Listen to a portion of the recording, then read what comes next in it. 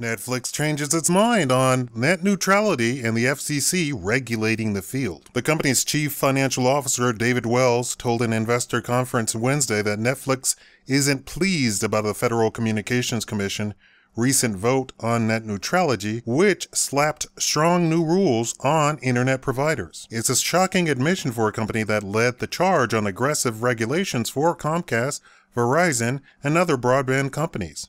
Last week, the FCC handed web companies a big victory when it decided to regulate internet providers under Title II of the Communication Act, just like legacy telephone companies.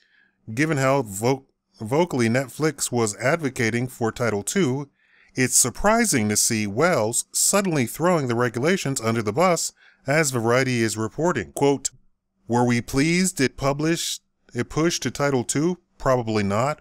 We were hoping there would be a non regulated solution, said Wells, according to Variety. Opponents of the FCC's net neutrality rules were quick to pounce. Quote, This must be a storyline for a very bad Netflix movie, said Randolph May, president of the Free State Foundation. I don't know whether it's a comedy or a tragedy. Out of context, Wells' quote certainly sounds uh, damning on its own, but Netflix spokeswoman Anne Mary Marie Squeo denied that Wells was actually condemning the strong measures. Quote, David was simply trying to convey the evolution in our thinking, said Squeo, and give some sense of how our initial position evolved over time from an industry agreement to a regulatory solution. In short, Netflix is trying to say that it's not turning its back on net neutrality. It's a tough argument to make, however, in the wake of pieces in Gigaom and The Verge that highlight a controversial deal Netflix just struck in Australia. That deal appears to violate the spirit of net neutrality because it exempts Netflix from user data caps, a practice that the FCC has said it would look at askance here in the United States.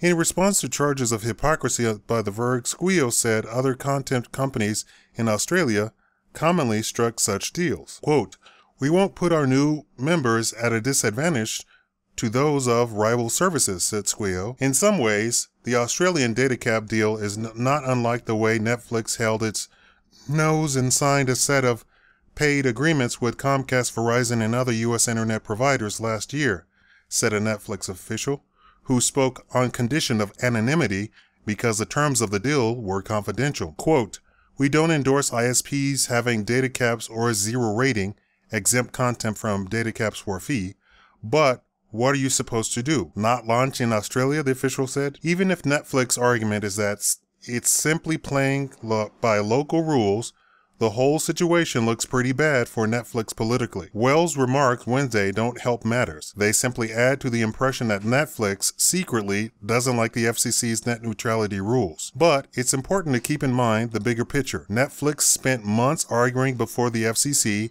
that the agency should use strong rules such as Section 201, Section 202, and Section 208 of the Communications Act to regulate internet providers. It explicitly called for broadband companies to be regulated with the same law used to regulate legacy telephone service. To think that Netflix was up to some head fake play here doesn't make much sense. It's clear Netflix much preferred that the private sector come up with a voluntary solution so that it didn't have to pay Comcast, Verizon, and other internet providers a fee to send its videos to consumers. What it really wanted was something called settlement free peering, the transfer of its content with no money changing hands. When it realized that that wasn't going to happen, it lobbied the FCC for regulation. So as Wells really displeased about Title II, insofar as he wasn't able to get his ideal outcome, industry self-regulation? Sure, but that probably doesn't mean Netflix is somehow opposed to Title II now. What do you think? Is Netflix trying to play both sides of the aisles and have regulation, but have it in private hands and not in public hands? Tell me what you think below. Thank you for watching the Shakaama Live Show.